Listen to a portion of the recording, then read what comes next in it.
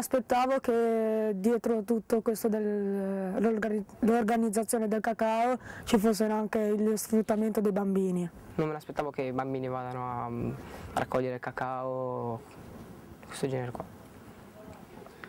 In parte perché non mi immaginavo ce ne fossero così tanti in questo modo, perché pensavo semplicemente che le famiglie fossero d'accordo con loro che magari per un po' di giorni per guadagnare li mandassero, poi però li dessero molti più soldi, non 30-25 euro al mese. Cioè, lo sfruttamento del lavoro minorile è una cosa molto ingiusta anche perché comunque privano soprattutto dell'infanzia di un bambino che potrebbe crescere in altri modi, soprattutto sviluppare altre cose invece di stare a lavorare nei campi che comunque fa tanti, sforzi che poi ne peggiorano anche la loro salute, per, per esempio creando delle malattie che magari essendo liberi, stando proprio nelle loro nei, nei, loro gruppi, nelle loro tv, no, non, non, le prenderebbero. Quindi è una cosa importante riuscire anche a togliere questo problema proprio perché questi bambini cioè, si, si,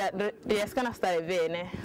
No, non sapevo che dietro al cacao ci fosse lo sfruttamento dei bambini. Un tema molto importante di cui forse si parla davvero troppo poco, eh, questo film che abbiamo visto oggi è un film che a me colpisce molto, forse per una storia personale, perché ho una figlia di 10 anni che si chiama Mariam e il padre è nato in Burkina Faso e vissuto in Costa d'Avorio finché non si è trasferito qui.